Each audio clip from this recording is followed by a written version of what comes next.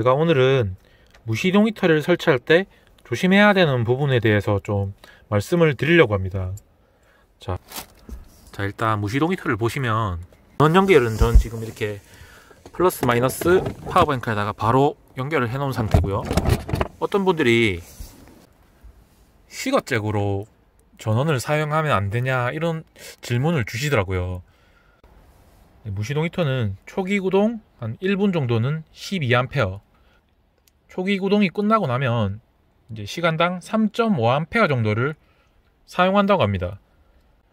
자, 시동이 걸리고 1분 후에는 이제 시거잭에 꼽아도 사용 상관이 없겠지만 초기 구동 시에는 시거잭을 이용하기에는 좀 무리가 있을 수가 있어요.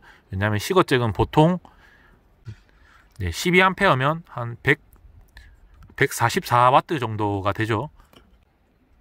전류가 높아서 뭐 한두 번은 걸릴 수도 있는데 계속해서 사용하다 보면 시거잭이 녹거나 그런 현상이 많이 있을 수가 있다고 합니다. 그렇기 때문에 가능하면 시거잭은 사용하지 않는 게 좋고요. 자, 두 번째. 여기 이 에어 히터 컨트롤러가 있잖아요. 여러분들이 아셔야 되는 게 이 히터를 켜보면 두 가지 타입이 있어요. 온도 설정하는 게. 첫 번째 1단부터 10단까지 설정. 그리고 두 번째는 온도 설정.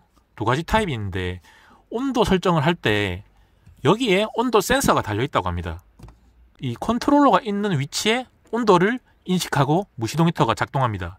그러니까 예를 들어서 만약에 저 안쪽에 넣어 놓으면 뜨거운 바람이 모여 있기 때문에 같은 28도라도 온도가 낮춰지겠죠. 그런데 만약에 이 컨트롤러가 외부에 있다.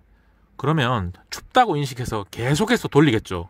컨트롤러 위치를 잘 잡아주는 것도 상당히 중요합니다. 시동 히터 본체가 있죠. 그럼 여기 구멍 있죠. 여기로 바람이 들어갑니다. 그리고 일단 이 구멍으로 바람이 나와요. 첫 번째 주의사항은 이 무시동 히터가 있는 곳이 밀폐된 곳이면 안 돼요. 저 같은 경우에 여기도 좀 뚫려 있고 공기가 순환이 되는 곳에 무시동 히터를 설치를 해야 됩니다.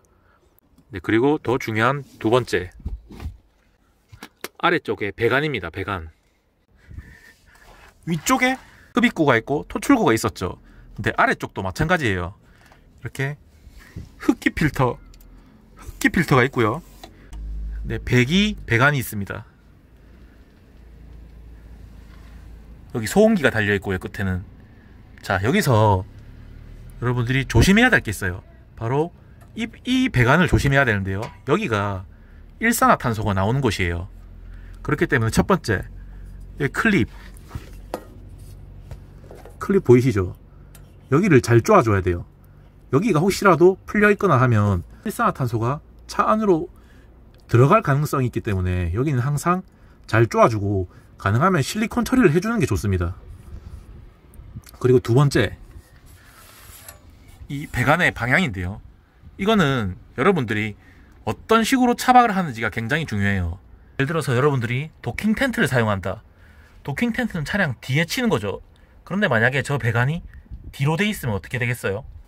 예, 이쪽으로 배관이 나온다면 그냥 그대로 도킹 텐트 안쪽으로 일산화탄소가 그냥 들어가는 거예요.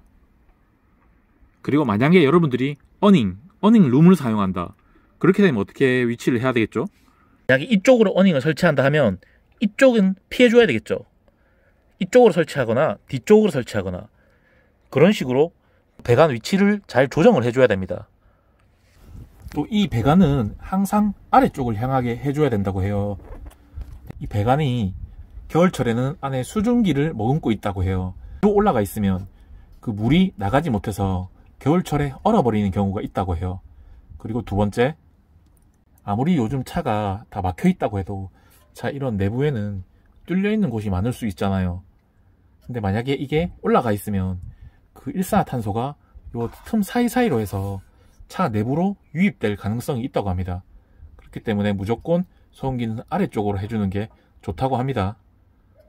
네, 그리고 이 배관이랑 흡기 필터랑 떨어뜨려 놔야 됩니다. 만약에 나란히 그 두 개가 설치가 되어 있다면 일산화탄소가 나와서 그대로 거기로 들어가겠죠.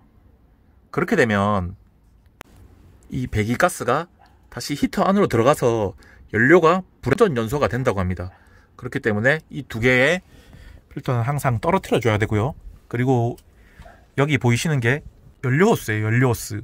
이 연료 호스는 여기랑 절대 닿이지 않게 해야 됩니다. 제가는 온도가 200도가 넘습니다. 굉장히 뜨거워요. 여기가 데이면 녹아버릴 수도 있기 때문에 항상 떨어뜨려 놔야 됩니다. 그리고 제가 지금 방음 처리를 해놨는데요. 이 안에 연료 필터가 있습니다. 연료 필터의 각도는 항상 이렇게 45도를 맞춰줘야 돼요. 네, 그 이유는 뭐냐면요. 자, 여기 연료 탱크가 있고 여기 무시동 히터가 있어요. 그런데 이렇게 되어 있지 않고 만약에 이렇게 되어 있다 쳐볼게요. 그러면 연료가 나와서 무시동 히터로 들어가는데 기름이 원래 나와야 하는 용량이 나오지 않고 이렇게 미끄러져서 더 많은 양이 들어간다고 합니다. 그러니까 기름이 오버돼서 들어가는 거죠. 네, 그렇기 때문에 항상 연료 필터는 45도 각도이되 네, 기름통 있는 방향 쪽이 아래쪽으로 향하게 네, 이렇게 설치를 해주시면 되겠습니다.